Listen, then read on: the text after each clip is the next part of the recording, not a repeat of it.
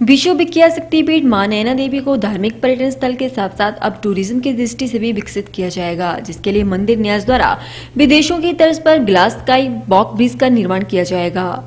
जिससे श्रद्धालुओं को यहाँ रोचक एक्टिविटी करने का मौका मिलेगा। उपायुक्त रोहित जम्बाल ने बताया कि हाल ही में मंदिर न्यास की बैठक में इसे लेकर प्रस्ताव पारित किया गया। जल्द ही इसकी प्रपोजल बनाई जाएगी और भौगोलिक परिस्थितियों का अध्ययन करने के बाद इसके निर्माण कार्य को शुरू किया जाएगा। उन्होंने बताया की धार्मिक पर्यटन स्थल के रूप में माँ नैना देवी विकसित हो चुका है, लेकिन टूरिज़्म की दृष्टि से यहाँ कोई एक्टिविटी नहीं है। लेकिन ग्लास स्काई बॉक ब्रिज बनने से यहाँ आने वाले श्रद्धालुओं की संख्या में भी इजाफा होगा और टूरिज़्म को भी काफ़ी बढ़ावा मिलेगा। हालाँकि विदेशों में ऐसे ब्रिज का चलन काफ़ी स्मेह है, जिसके चलते भारत में भी एक दो जगहों पर ऐसे ब्रिज का निर्माण किया गया, जहाँ इसका काफ़ी अच्छा रिस्पांस आता है। उन्होंने इस ब्रिज के बारे में जानकारी देते हुए बताया कि इस ब्रिज का निर्माण बैली के साथ किया जाएगा। जब भी कोई व्यक्ति इस ब्रिज यानी गलास के ऊपर चलेगा तो उसे लगेगा की वह हवा में चल रहा है। इसकी लंबाई करीब सौ मीटर होती है। ब्रिज के दूसरे छोर पर घाटी का बहुत ही खूबसूरत नज़ारा देखने को मिलता है। जल्द ही इसका प्रस्ताव पारित करके प्रपोजल बनाई जाएँगी और इसका निर्माण कार्य शुरू किया जाएगा। महत्वपूर्ण बैठक काफ़ी समय बाद हुई थी जिसमें पिछले वित्तीय वर्ष का लेखा जोखा और जो करंट वित्तीय वर्ष है उसमें क्या बजट में कार्य होने उनके बारे में विस्तार से चर्चा की गई।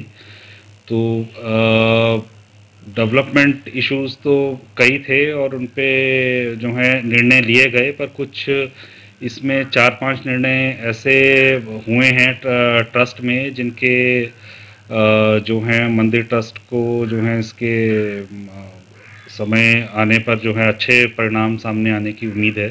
तो इसमें सबसे पहले तो ये निर्णय लिया गया कि नैना देवी धार्मिक पर्यटन स्थल के रूप में तो विकसित हो ही चुका है। पर जब वहाँ पर भक्तजन पहुँचते हैं तो कोई और उन्हें कोई एक्टिविटी करने के लिए नहीं मिलती तो ये सोचा गया है कि वहाँ पर एक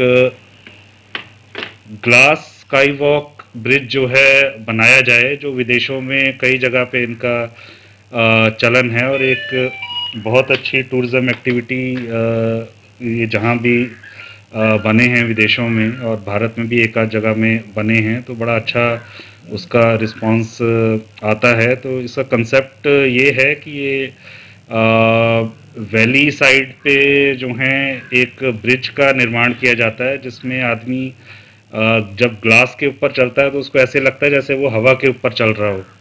और आगे जाके जो भी इसकी सौ एक मीटर के करीब लेंथ रहती है तो जब वो दूसरे एंड के छोर पे पहुँचता है तो वहाँ घाटी का बड़ा अच्छा नज़ारा जो है आ, मिलता है और एक बड़ा अच्छा दृश्य जो है आ, बनता है।